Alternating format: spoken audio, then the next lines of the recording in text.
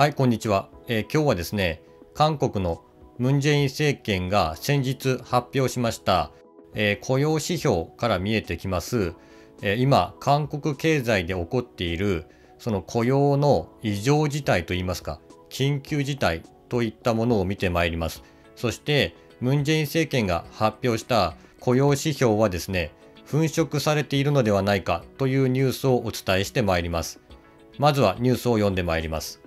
韓国経済肯定的な変化起きている。雇用指標改善など評価。ムン大統領。韓国のムン・ジェイン大統領は16日青瓦台で開いた首席秘書官補佐官会議でいろいろ厳しい環境の中韓国の経済に肯定的な変化が起きているとして変化をさらに加速させ政策の成果を国民が体感できるようにすべきだ。そうしてこそ経済の体質を確実に変え韓国経済を新しく飛躍させることができるとの認識を示した。ムン大統領は韓国経済の肯定的な変化として雇用指標の改善、家計所得、分配の改善、ユニコーン企業、企業価値が約1000億円以上の未上場企業の増加を挙げ、政府は世界の景気鈍化や保護貿易主義の拡大など、韓国経済の悪材料を乗り越えるため、可能な政策手段を総動員して対処してきたと強調。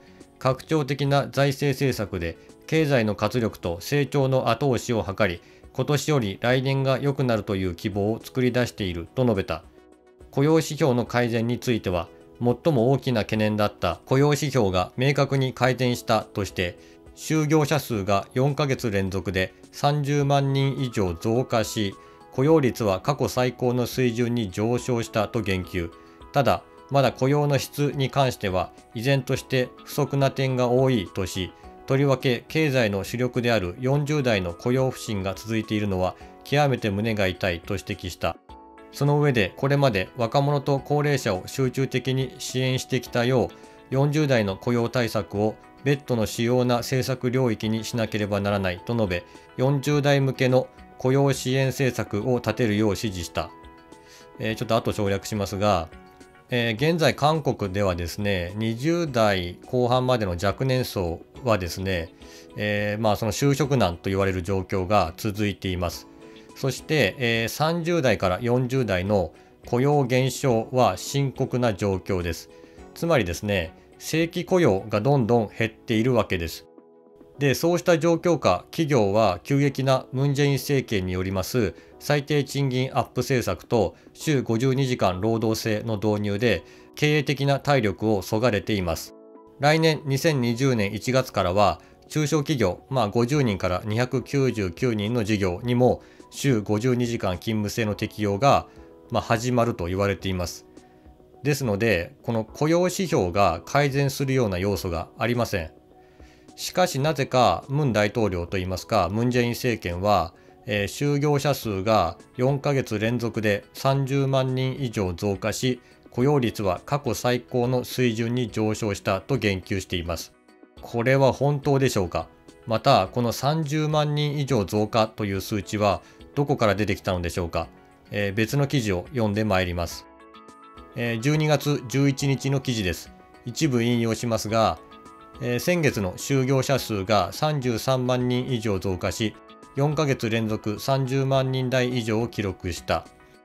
15歳以上の雇用率も統計が作成された以来最も高い水準を見せるなど雇用好調が持続する姿だ。統計庁が11日発表した11月の雇用動向によると先月の就業者数は2751万5000人で1年前より33万1000人増加した。8月45万2000人、9月34万8000人、10月に41万9000人に続き、今月まで4ヶ月連続30万人以上増えたのだ。去る4月17万1000人以来、5月から7ヶ月連続20万人以上の増加も維持している。前2017年2月から7月までの6ヶ月連続の就業者数が30万人以上を維持している。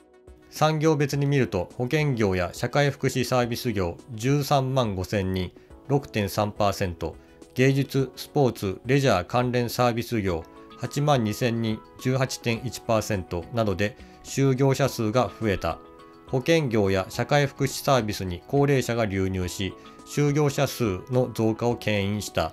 芸術、スポーツ、余暇関連サービス業は50代以上が娯楽場、ゲームルーム、宝くじ販売など企業の経営に20代を一時的常用で雇用しながら就業者数が増加したと統計庁は分析した。宿泊施設や飲食店業就業者数も8万2000人3.7%増え10ヶ月連続の増加を示した観光客の流入が前年より増え青年層を中心に就業者が増えたためである一方製造業の就業者数の減少幅は持続された。先月製造業の就業者数は2万6000人マイナス0.6%減り昨年4月マイナス6万8000人から20ヶ月目に下落している。ただし製造業の減少幅はやや縮小した。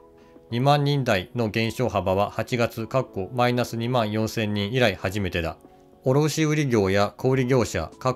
マイナス8万8000人マイナス2.4%建設業マイナス7万人マイナス3.3%行政国防及び社会保障行政マイナス3万6000人、えー、マイナス3.1%などでも縮んだ金融と保険業も就業者数が3万3000人、過去マイナス3.9%減少し、11ヶ月連続下落を見せた。年齢で見ると、60代以上で40万8000人増加した。このうち65歳以上が24万2000人で比重が高かった。このほか20代で7万人、50代で6万5000人増加したが、40代と30代はそれぞれ17万9000人、2万6000人減少した。40代の就業者数は2015年11月に減少に転じた後、49ヶ月目続いた。40代の雇用率も1.1%下落し、2009年12月、マイナス1.1%以来最も大きかった。30代と40代の就業者数同伴減少は2017年10月から歴代最長期間である25ヶ月間連続で続いている。ジョン・ドンオーク統計庁の雇用動向課長は40代卸小売業製造業で影響を受けるとして卸売小売業不振が大きく減少幅も拡大した減少幅は縮小したがまだマイナスである製造業の影響も受けて就業者数が減少したこととみられると説明した。就業時間帯別に見ると36時間以上の就業者は2198万2000人で28万9000人、過去マイナス1.3%減少したが、36時間未満就業者数は524万8000人で、63万6000人、過去13.8%増加した。週平均就業時間は40.8時間で、1年前に比べて0.9時間減少した。1から17時間の就業者も38万6000人で25.5%増加した。で、つまりはですね、この記事を読んでもわかるんですけど、韓国政府が雇用が改善しましたと言っている理由は、税金を投入して韓国政府が創出した60代以降の方々の短期雇用、非正規雇用が大幅に増えたことです。で、その仕事内容というのは、高齢者による講義室の消灯とか、ゴミ拾いとか、そういった雑用です。つまり韓国政府が税金を投じて無理に作り出した雇用のほとんどは非正規職か雑用です。で、それをもってしてムン・ジェイン政権は就職率というか、えー、雇用率というものが改善したと言っているんですが、これが大問題なわけです。えー、その証拠にですね、30代から40代の雇用が減り続け、60代以上の非正規雇用ばかりが増えているわけです。で、この韓国政府の雇用政策が一層韓国国民の方々を苦しめているという現状です。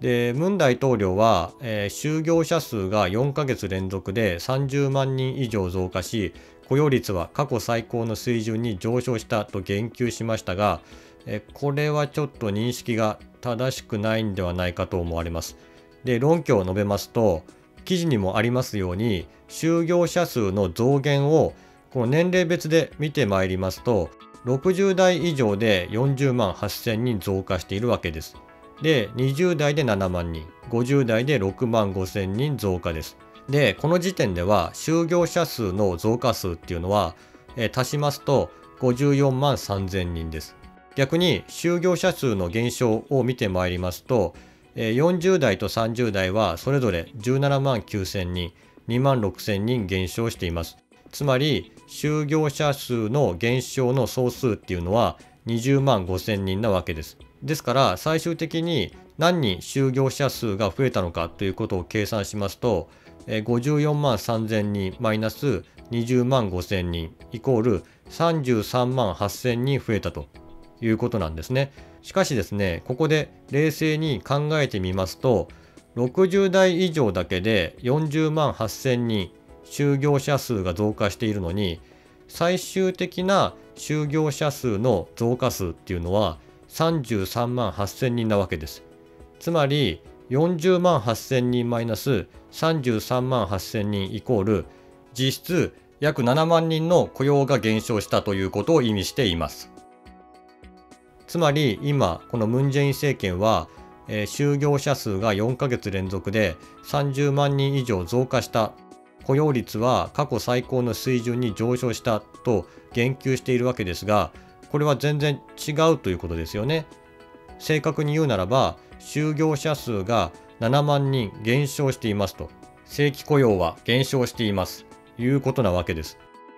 で特にですねこの30代と40代の就業者数が減少しているっていうのが深刻なわけです。えー、30代は2万6千人減少40代は17万9千人減少でこの30代40代っていうのは働き盛りで社会を支える中心的な存在でありまして子育てなどでもお金を使いますしつまり消費する社会を活性化させるのに一番貢献する世代なわけです。でそうした世代が今こう退職に追い込まれ、えー、生活苦になっているというのが韓国社会の現状と思われます。しかもこの30代40代の雇用減少はどういった業界に起きているかと言いますと先ほどの記事によりますと製造業が中心なわけです。で製造業っていうのはこの韓国経済を支えている業界なわけです。つまり韓国経済を支えている中核企業のまあ、中枢と言っていい人々がどんどんリストラされている事態が起こっている可能性があるわけです。で、また韓国の経済ではですね、別の問題も起きています。つまりは仕事の質も同時に悪化しているのではないかという、えー、深刻な状況が予想されます。先ほどの記事では36時間以上の就業者は2198万2000人で28万9000人、括弧マイナス1.3%減少したと書かれていました。しかし一方でですね、36時間未満就業者数は524万8000人で63万6000人、括弧13.8%増加しているとなっています。またですね、1から17時間の就業者も38万6000人で25.5%増加したともあります。つまりですね、多分これは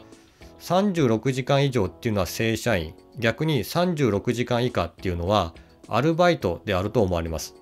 つまり正社員が減ってアルバイトが増えたということになります。しかも36時間以下の労働者は63万6千人も増えています。今回の統計で、えー、30万人以上の雇用が増えたとされていますが、現実としてはですね、正規雇用、正社員が減り、アルバイトだけが増えたというのがこの数字から見えてきます。正社員の雇用は減っているので、韓国社会全体の雇用の質が落ちている状況と言えると思います。えー、税金を投入し60代以上の非正規雇用を増やしている。しかし実質的に社会を支える30代から40代の雇用は減り、製造業の中核を担う人が減り続けています。こうしたですね、雇用現場のまあ異常事態というか緊急事態というか、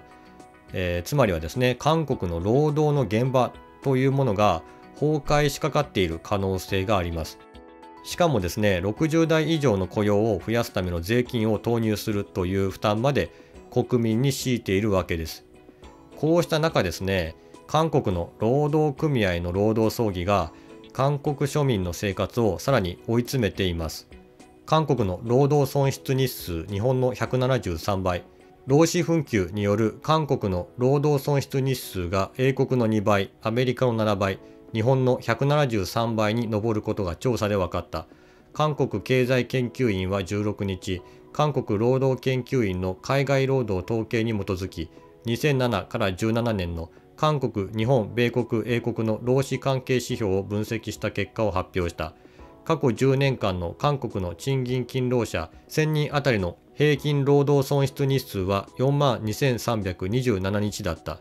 賃金勤労者1000人あたりの労働損失日数は会社の全体労働損失日数を賃金勤労者の数で割った後1000人をかけて求める。英国は2万3360日米国は6036日日本は245日だった。韓国の労働損失日数は英国の1.8倍アメリカの7倍日本の172.8倍に上った。過去10年間にストライキなど労働争議が最も多く発生した国は英国だった。英国では年平均120.1件の労働争議が発生した。韓国は100.8件アメリカは13.6件日本は38.5件だった。中略しまして韓国経済研究院は韓国の労働市場の柔軟性が低い原因に労使間で対等な協議が行われにくい制度的な環境を挙げた。韓国経済研究院のチュ・グアンホ雇用戦略室長は韓日米英のうち韓国は労働組合加入率が最も低いが葬儀による労働損失日数は最も多い国としストライキ中の代替労働を認め職場選挙を禁止するなど労使が同等に協議できる環境を作る必要があると指摘した。韓国政府の経済失策と、えー、労働組合による行き過ぎた労働争議で韓国国民の生活はますます追い詰められています、えー、ムン・ジェイン政権による抜本的な経済政策の転換が求められています。ありがとうございました。